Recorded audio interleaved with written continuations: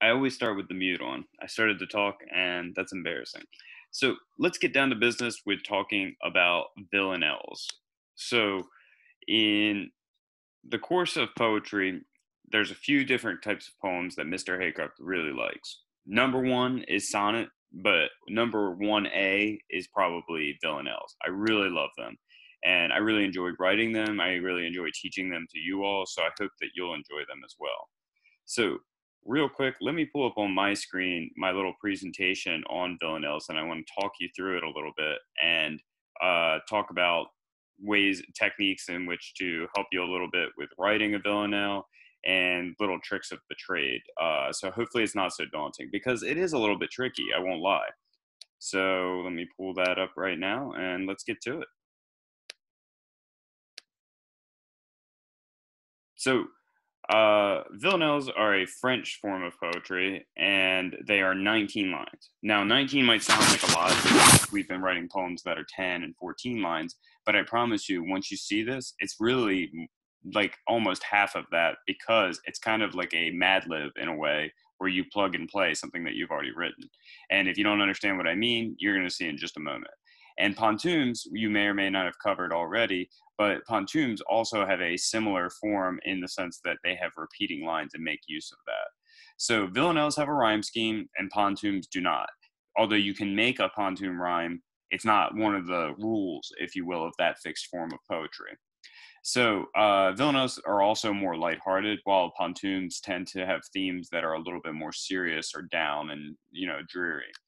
So uh, there are two refrains, and these refrains are lines that repeat themselves over and over again. So it's a really good idea to write a villanelle about something where you really want to have a lot of repetition or hammer a point home. So, for instance, when I was in college, I wrote a villanelle that was about driving five hours uh, on a road trip. So uh, and having to do this continually, riding down the road, thinking about how uh, I want to be there and how I got to stop to go to the bathroom, things like that. So think about how anything that you do in your day to day that might be repetitive that you might want to write about, like just going to school every day online, like that could be a good topic. Um, each line is an iambic pentameter, meaning it has 10 syllables, so just like a sonnet. And there are five tercets and one quatrain, so five sets of three and then one set of four. So here is the layout of a villanelle. So like I said, it might sound daunting, but it actually, I like it because it, you can have fun with plugging in some of these different parts of the poem. So when I say first refrain, so line number one and line number three rhyme with one another. Line number one and line number three are super important because you're going to use those over and over again throughout the rest of the poem. So make sure you like your line number one and line number three, and you're going to see why in just a moment. So the rhyme scheme throughout is ABA in every stanza and so the very last one is ABAA. So once you have your first stanza or your first tercet written, which is those first three lines, think about this. You are going to copy and paste line number one down here to where line number six is, and line number 12.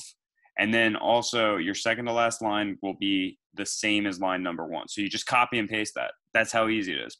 Line number three kind of the same deal, except for this is going to go to line number nine and uh, line number 15. And then finally, line number 19 is going to also be your third line. So again, you just copy and paste that. So if you were to type this out just like I have it here on the screen, and then you just plug and play with after you've written your first three lines, you have a good bit of this poem written already. Now, every single B line, remember rhyme scheme going back, all those lines need to rhyme. So the middle line is going to rhyme, but it's always different in each tercet. Um, and the A lines also need to rhyme, which is the first line of each tercet after you leave that first stanza. So again, a lot of this sounds really tricky, but to me, I think it's really fun. And uh, to be honest, I think that it can be a really enjoyable way to write poetry. So, like I said, uh, I alluded to earlier, you may or may not have covered a pantoum before, and they, these are similar to pantoums in format, and they're about something repetitive. I kind of got ahead of myself by talking about that.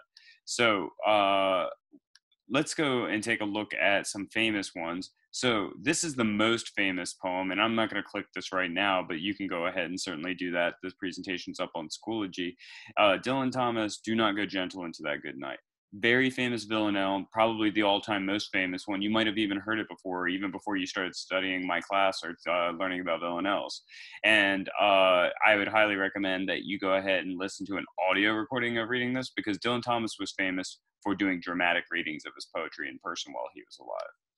Now, this is another great example of a villanelle that I found online. Um, and let's just take a look at some of the rules. So I'm not going to read the poem out loud, but let's look at the rules here. So, line one, it, it appears here, it appears here, and it appears here. Line three, it appears here, it appears here, and it appears here. So we uh, we see that Marilyn Hacker kind of plays with the form here by she put this first refrain at the very end rather than uh, the quote unquote proper way. And the, she gets a little bit of artistic license because she's a poet. But uh, nonetheless, we've got our iambic pentameter and we've got our look at these middle lines soul rhymes with casserole and stole and bowl and dole and roll. So those are all words that are b lines.